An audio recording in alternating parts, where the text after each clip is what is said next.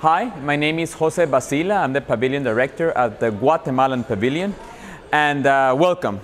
The Guatemalan Pavilion, it's like a museum, like an art gallery. So we're focusing ourselves in it to, be, to look like an art gallery. As you can see, you can go through each way, and it's basically a museum.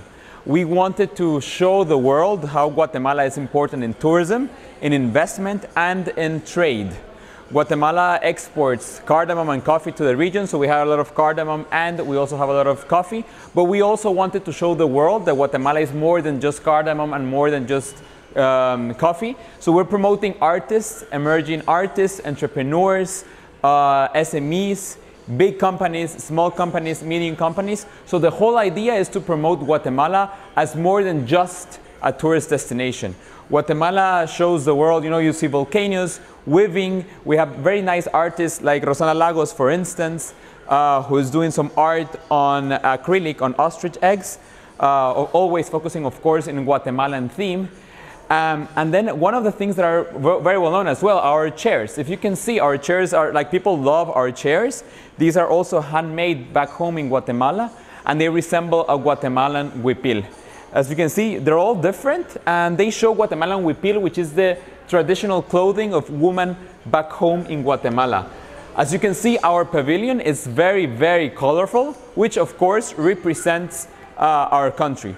On the walls, you'll see different uh, exportable offer that Guatemala uh, has. And of course, there's more, more artists like Diana Fernandez. Then we have Denise Mesa as well. And then Mum Ceramics. They're all very uh, famous emerging Guatemalan plastic artists uh, and painters. One of the most important walls, of course, is this wall, which is the coffee wall. Um, Guatemala exports coffee, uh, one of the best coffees around the world. So we're wanting to promote coffee uh, around the world. How is it the best coffee in the world?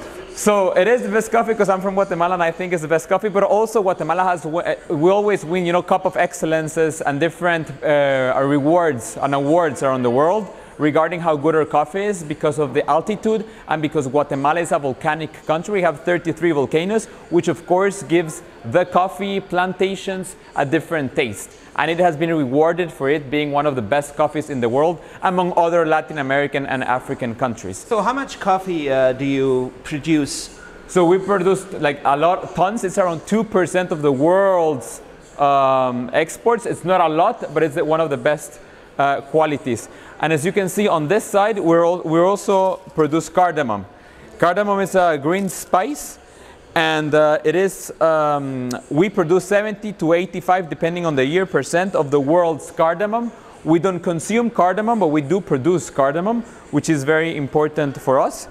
And then this is also Mayu uh, ceramics, which are some ceramics made in Lake Atitlan by some entrepreneurs and indigenous communities. Uh, and we're also trying to promote ceramics around the world. On this side, we have Victoria Murga, which is Vito Murga. She's uh, a plastic artist as well back home in Guatemala. And she makes some, she's doing some interventions with chairs and spheres, as you can see on this side. Uh, and then we're also promoting Guatemala as a kaleidoscope of colors and cultures. We have the African American culture back home or African Guatemalan culture, which are called Garifunas, the indigenous communities, the indigenous religion as well. Mayan culture is very important for us, so we're trying to promote that as well, among other artists as well, which are on this side you'll see Katia Miranda. Um, she's doing everyday objects on this side, and then uh, Mayu ceramics as well.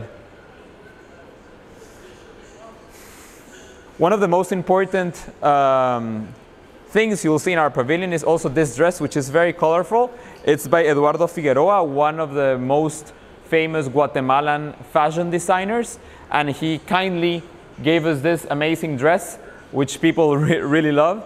And on the back, you'll see Antigua, Guatemala, which, and our flag, of course, but Antigua, Guatemala was the old capital of Guatemala. And um, as you can see here, it's one of the main streets of Antigua with uh, Santa Catarina um, Arc on the middle, which is also, this city was destroyed by a, by a volcano, earthquake, eruption um, several years ago, of course, 100 years ago. And as you can see it as well here on the video, this is the volcano that erupted when this happened. Um, then you'll see more emerging artists. On this side, you, we have Bel, Belula hats and uh, Shanu bags and Tux. All of them are also emerging artists and fashion designers back home in Guatemala. Everything again, very, very uh, colorful. On this side, our national bird, which we are very proud of because it uh, shows liberty and freedom uh, expresses liberty and freedom. This bird can only live in freedom and liberty. You cannot have him on a cage or it will die. So this is why it is our national bird. Telma Espina, who is a very famous fashion designer back home in Guatemala. She loves doing interventions between modernity and Mayan culture and Mayan textiles as well. And um, on this side, we have ha uh, Haspe, which is another uh, fashion designer who is, her name is Victoria Murga as well, but her brand is Haspe. And last but not least, we have Amala's swimwear, which are these two uh, by Ana Rivera. She's doing some bathing suits. And then again, we're promoting coffee, which is very important for us. We're having some coffee uh, tasting starting at the end of November. Uh, and then our shop, which is basically all samples of Guatemalan products. Again, some bags by Shanu Bags, some coffee, which is very important for us, some other fashion designers, Belula hats again, Eco Filter, coffee again, cardamom, and of course our rum, which is one of the most famous rums in the world. So, so people can come here to the Dubai World Expo and buy this one? They can come and they can check them out, and with the uh, QR codes all around the shop, you can buy them through the QR codes. And then it gets shipped To your- worldwide. yeah, exactly. All right. Um, That's how it works. So, so uh, in terms of the industry and the development of the, um, the what's it called, economy, Yes. Guatemala, how is it going? So Guatemala is a very, very stable country in Latin America. Actually, through the pandemic, Guatemala showed the most to be the most stable country economically wise. We didn't uh, at the end economically it was very very stable, which was great for us, and this is a great a great opportunity for us for investment. So lots of Latin American countries, lots of European countries are investing in Guatemala because of its macro and microeconomic stability, which is great for us. Some other countries in Latin America were very very highly affected economically by the pandemic, and this thank God it didn't happen to Guatemala because of its economic stability. The, the problem that happens is when uh, during this strange time that the travels are kind of blocked and stuff. Yes, sense of uh, tourism, yeah. tourism is important. tourism is huge. It's, it's very important for us, which was, of course, it really affected the, the tourism industry back home in Guatemala. But thank God, uh, Guatemala opened its border very, very soon. We opened our borders in uh, uh, August, September, more or less. So this led us to have, you know, it, this was a great opportunity for us to have more tourism starting September, October, uh, which is great. And also, you know, in exports and imports, we're very big as well. So this helped a lot. And um, there, there's a lot of things to do for the tourism. Yes, of course. You know, we have, we are, we're divided. The country, the country is 108,000 and eight- 108,000 kilometers square. Um, it's, small or big depending on how you see it. We have 17, 15 to 17 million people living in Guatemala. We have so many tourist destinations. There you can see Guatemala City as an investment uh, destination. We have Tikal, which is the Mayan capital of, of, of the capital of the Mayans. Sorry, and then we have the colonial cities. We have the Mayan uh, heritage. We have natural adventure. So it's great. It's a, a small country with very very different destinations to visit. There is a, um, a lot of uh, trade happening with Europe.